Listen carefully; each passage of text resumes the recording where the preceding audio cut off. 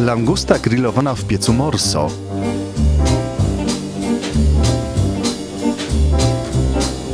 Cześć, dzisiaj pokażę Wam jak przyrządzić prawdziwą langustę.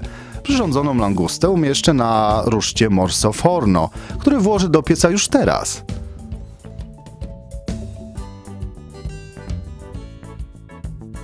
Przygotowałem już langusty wcześniej i odciąłem pancerz. Najpierw posypię je solą i cukrem. Dam im 5 minut, żeby przyprawy wsiąknęły.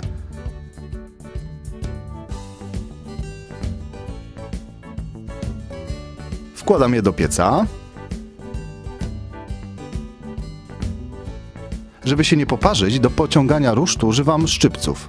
Przyszła pora, żeby włożyć langusty do pieca. Umieściłem langusty z głową skierowaną do środka pieca, gdzie jest najbardziej gorąco. To najgrubsza część potrzebuje najwięcej ciepła.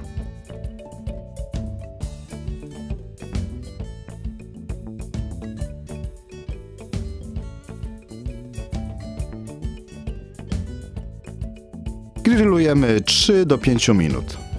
Szczypcami wyciągam langusty z grilla. Jest gotowe. Sprawdźmy. Są chrupiące i delikatne. Po bokach wydziela się sok. Jest to proste i pyszne danie. Dodam jeszcze krople cytryny. Zrobiłem sałatkę z mango, która nadaje charakteru owocom morza. Przekładam langusty na talerz. Minimum pracy, maksimum smaku. Smacznego!